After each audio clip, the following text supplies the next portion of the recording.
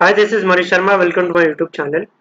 So start करते हैं Nifty and bank Nifty analysis for tomorrow's intraday trading session and will discuss the stocks as well इससे पहले मैं आपको बता दूँ मैंने लास्ट वीडियो में bank Nifty clean and clear sell दिया था। आई होप बहुत सारे लोगों ने मेरा वीडियोस देखा होगा और एक काफ़ी अच्छा पैसा बनाया भी होगा।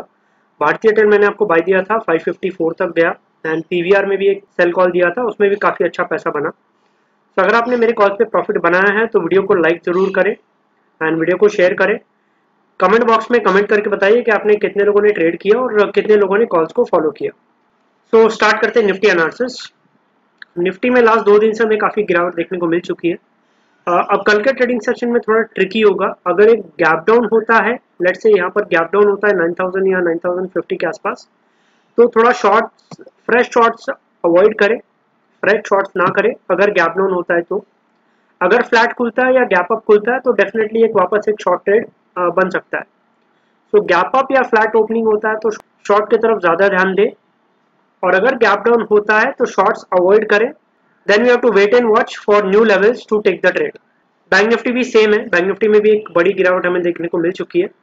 एंड अगर कल गैप डाउन होता है तो शॉर्ट्स नहीं करना है। शॉर्ट्स को अवॉइड करना है।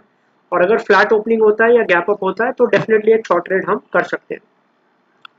तो निफ्टी बैंक निफ्टी में ये था एनालिसिस अब डिस्कस करते हैं स्टॉक सबसे पहला स्टॉक है मैरिको मैरिको में एक ये चैनल था चैनल में ट्रेड करा था स्टॉक और आज ये चैनल का ब्रेकआउट हो गया है यहाँ से।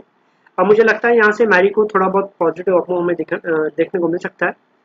300 एक साइकोलॉजिकल लेवल ज़रूर है 300 क्रॉस करेगा तो एक पॉजिटिव मोमेंटम हमें देखने को मिल सकता है। सो so, कौन से लेवल पे बाय करना है मैं आपको टेलीग्राम चैनल में बता दूँगा। टेलीग्राम चैनल का लिंक मैंने वीडियो के डिस्क्रिप्शन बॉक्स में दिया हुआ है। तो आप टेलीग्राम चैनल ज्वाइन कर सकते हो। सो मैरिको बाय रहेगा. एंड नेक्स्ट स्टॉक है. स्टॉक होगा एनआईटी टेक एनआईटी टेक अगर आप देखें, एक स्मॉल रेंज में ट्रेड कर रहे हैं लास्ट चार पाँच दिनों से. अभी किसी किसी भी साइड ब्रेकआउट या ब्रेकडाउन दे सकता है. और आई थिंक इसका रिज़ल्ट भी है. लास्ट पाँच दिन का कैंडल एकदम साइडवेज है. तो ये किस तरफ़ ब्रेकडाउन देगा, उसके हिसाब से ट्रेड लेना है. मोस्ट प्रोबेबली मुझे लगता है जिस तरीके का सेटअप है, ये नीचे की तरफ़ ब्रेकडाउन ज़्यादा चांसेस है देने के. इसमें एक शॉर्ट ट्रेड में हम ध्यान देंगे बट कौन से लेवल पे ट्रेड करना है, मैं आपको टेलीग्राम चैनल में आपको बता दूँगा.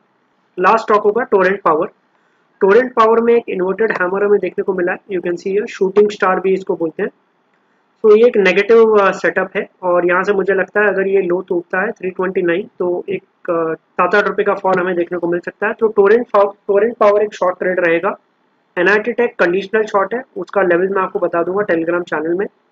और मैरिको स्टॉक बाय है. So this was the analysis for tomorrow's intraday trading session like and share video. Uh, thanks a lot for watching the video. See you in the next video